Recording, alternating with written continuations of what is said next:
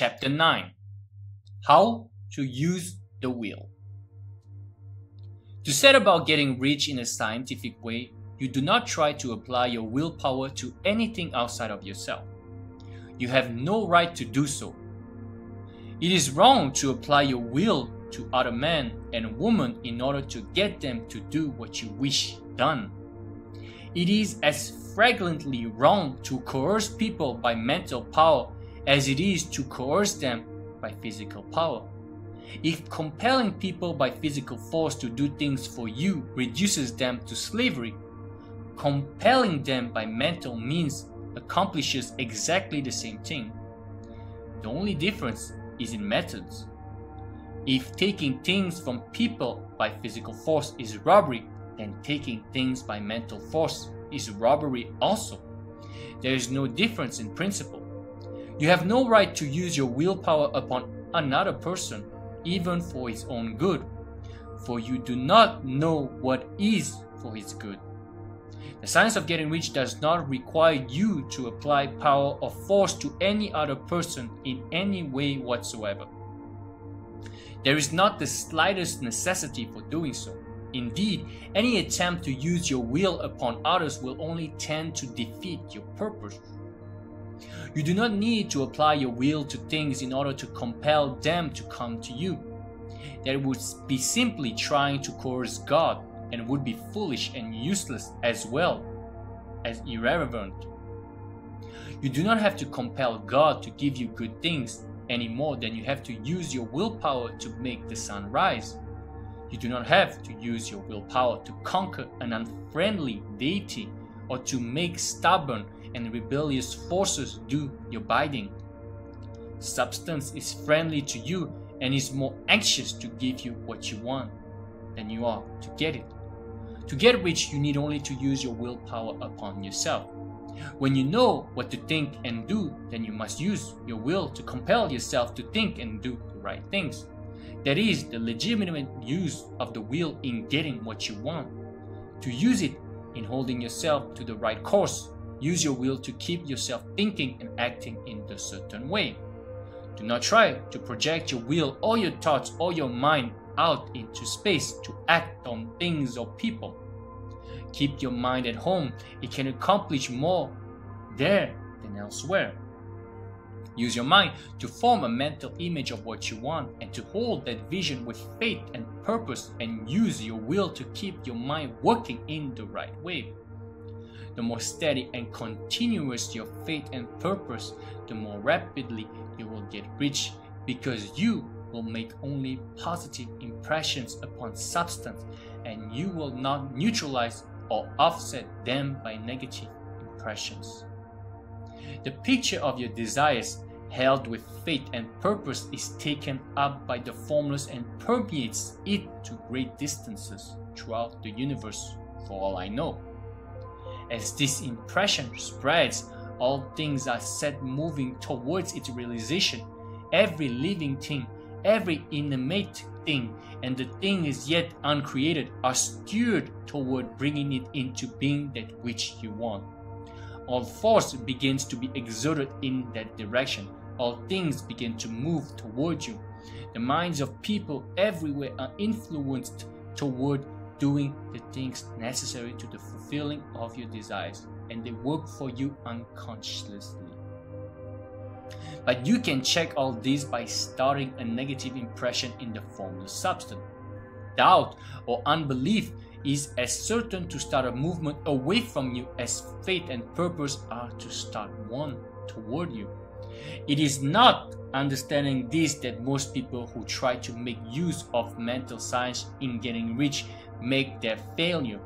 Every hour and moment you spend in giving heed to doubts and fears Every hour you spend in worry, every hour which your soul is possessed by unbelief, sets a current away from you in the whole domain of intelligent substance. All the promises are unto them that believe and unto them only. Notice how insistent Jesus was upon this point of belief, and now you know the reason why. Since belief is all important, it behooves you to guard your thoughts, and as your beliefs will be shaped to a different, very great extent by the things you observe and think about, it is important that you should command your attention. And here the will comes into use, for it is by your will that you determine upon what things your attention shall be fixed. If you want to become rich, you must not make a study of poverty. Things are not brought into being by thinking about their opposites. Health is never to be attained by studying disease and thinking about disease. Righteousness is not to be promoted by studying sin and thinking about sin. And no one ever got rich by studying poverty and thinking about poverty. Medicine as a science of disease has increased disease. Religion as a science of sin has promoted sin. And economics as a study of poverty will fill the world with wretchedness and want. Do not talk about poverty, do not investigate it or concern yourself with it. Never mind what its causes are. You have nothing to do with them. What concerns you is the cure. Do not spend your time in charitable work or charity movements. All charity only tends to perpetuate the wretchedness it aims to eradicate.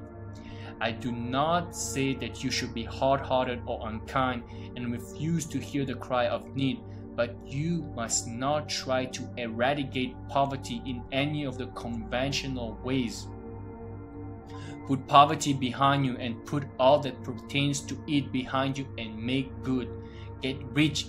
That is the best way you can help the poor. And you cannot hold the mental image which is to make you rich if you fill your mind with pictures of poverty. Do not read books or papers which give circumstantial amounts and accounts of the wretchedness of the tenement dwellers, of the horrors of child labor, and so on. Do not read anything which fills your mind with gloomy images of want and suffering. You cannot help the poor in the least by knowing about these things, and the widespread knowledge of them does not tend at all to do away with poverty. What tends to do away with poverty is not the getting of pictures of poverty into your mind, but getting pictures of wealth into the minds of the poor. You are not deserting the poor in their misery when you refuse to allow your mind to be filled with pictures of that misery. Poverty can be done away with, not by increasing the number of well to do people who think about poverty, but by increasing the number of poor people who purpose with faith to get rich. The poor do not need charity, they need inspiration. Charity only sends them a loaf of bread to keep them alive in their wretchedness, or gives them an entertainment to make them forget for an hour or two. But inspiration will cause them to rise out of their misery. If you want to help the poor, demonstrate to them that they can become rich. Prove it by getting rich yourself.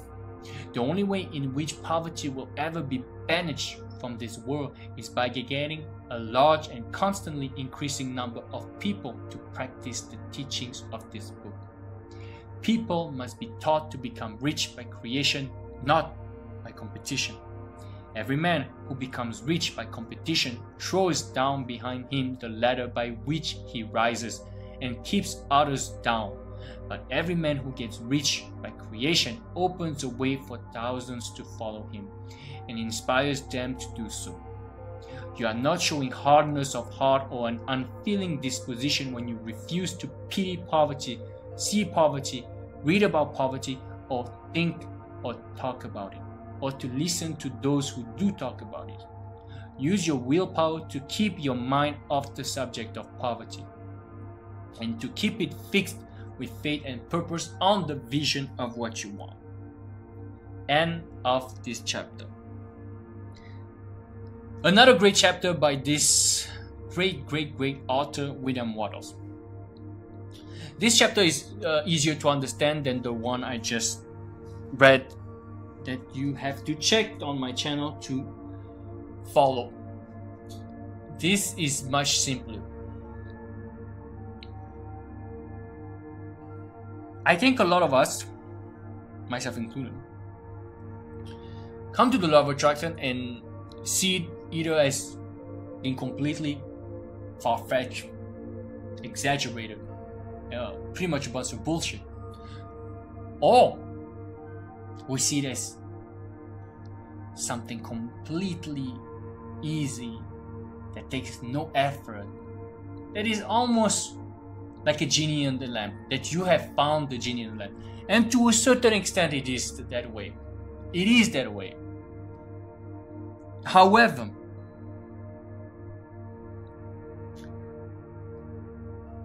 on both sides of this equation, there's a lack of accountability. Because those people who think that this is a bunch of bullshit, they're not accountable. And those who think that it's easy and you just need to snap your finger or rub the genie in the lamp can get whatever you want, they're also not accountable. Why? Because they are not really doing what they should be doing, which is putting it to the test, seeing it for what it is. Law of attraction is not true. Are, are three words I don't really like to use because they have been thrown around too often, and now they just a lot of people see the law of attraction as something that is unreal, not surreal, unreal. Surreal is when you start using it and you see starting to see the result, good or bad. That's surreal. But they see the law of attraction as something that's unreal. That is not true. But the basics of the law of attraction is that your thoughts create. That's James Allen. We are the sum total of our thoughts. As a man thinketh, so he will be. So shall he be. Something like that.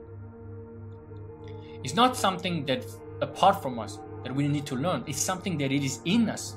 What we need to do is educate ourselves, ourselves on how to use it to our advantage deliberately. The law of attraction applies to everybody, but not necessarily deliberately. Deliberately, it means that you put all your effort into making it work for you. That's where the willpower is. In that case, and that's what I think a lot of people who are on the spectrum of the law of attraction is something amazing, is the genie of the lamp, tend to give up. Why? Because as soon as you tell them that there is some effort, there is some action, because willpower is still action, they tend to give up. They don't realize that, yes, there is a effortless part. Yes, it should come easily. Yes, you should not coerce yourself and try to cajole your subconscious mind to get what you want. That's very true. But doesn't mean that the effort is not required. The effort that is not required is an active effort that overwork yourself. I'll give you another example. If you are to work out three times per week, it's still an effort, but it's a reasonable effort because you're not pushing yourself too hard, but you're still pushing yourself to a certain extent for your muscle to grow. But if you were to work out twice a day, every day, seven days a week, and go 100% intensity, you'll be killing yourself. Same goes with the mind. That's why sometimes you tend to attract the opposite because you're pushing too hard. You have to be in the zone almost when it comes to manifestation and the law of attraction. It's not about coercing, it's about cooperation. That's a quote by ne- uh, no, sorry, by Joseph Murphy. The subconscious mind works with cooperation, not coercion. Remember that. But you still need to put the effort. And the effort is more so in the discipline than the pushing. The willpower is the discipline to not allow our mind to be fed with the wrong things. If you want to manifest a woman or a man, you cannot read stuff, you cannot feed your mind with stuff like all women are all women are sluts, or all men are cheaters, or all wo- that women want are your money, all that men want is sex. If you constantly feed your mind with this kind of stuff, how can you attract a specific person? Yes, you can attract, but it will not necessarily be the right one. You can attract a person, not a specific one. That's what I'm trying to say. You have to believe things of good rapport. That's what Neville Goddard said. If you have good thoughts, about people, about women, about men, then you can attract a specific person that is aligned with what you truly want. The example of this chapter, and I don't want to make it about only money and wealth, even though this book is about this, but in its essence, it's all about manifestation, whatever you want. If you want to manifest money, wealth, success in business, in success in your career, in your professional endeavors, you cannot think about poor things. Cannot think about poverty. You cannot dwell on how bad the economy is. You cannot dwell on how this person started this business and failed and you want to start the same kind of business. You cannot focus on this. You only focus on what works to your advantage, what aligns with you. Those are the facts that you create you only want to picture the end result and hold fast to your faith. That's the thing. Earl Nightingale, the great Earl Nightingale, said that faith is persistent and persistent is faith. That was one of the most revealing quotes I ever heard in my life. And I'm sharing it with you guys. For a long time, I was questioning what is all that faith business? What does it mean to have faith? And now when I read this quote, it made sense to me. And I didn't really finish the quote. Let me finish the quote. Faith is persistent and persistent is faith. Because if you did not have persistence, you will not have faith. Which, in other words, you need to persist. You need to hold this vision and persist until it becomes true in your 3D reality. So when you persist, you persist in your mind. And that's where the willpower, but let's change willpower with discipline. When you discipline your mind not to feed it with the wrong stuff and not to react to negative circumstances that might not seem like they're aligned. They might be aligned because the bridge of incidents is one that you cannot devise nor you can fathom. Those are the words by Neville Goddard. You cannot fathom the way, the best way to get. You might think you can believe. That's why we don't mess with the middle in Neville Goddard terms we don't think about what needs to happen.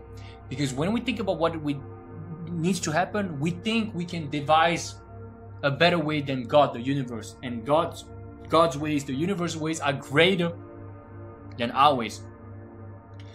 Neville goddard said that in a, uh, when you plant the seed the universe will fashion devise a bridge of incidents that is far too complicated for you to fathom. Yes, in hindsight, when you get it, you might be able to understand it a bit, but there's so many things behind closed door, behind the curtains, invisible things that are happening. As he said, you don't need to coerce anybody.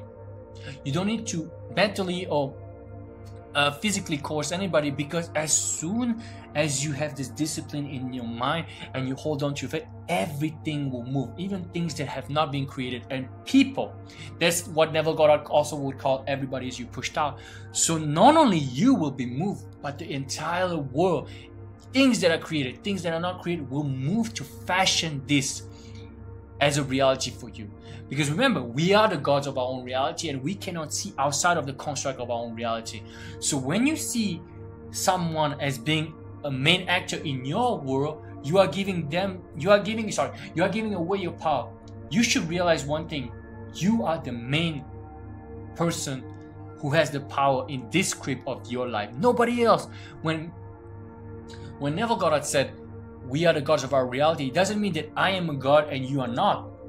You are the god of your own reality, I am the god of my own reality. It doesn't mean that I am a god and nobody else is powerful.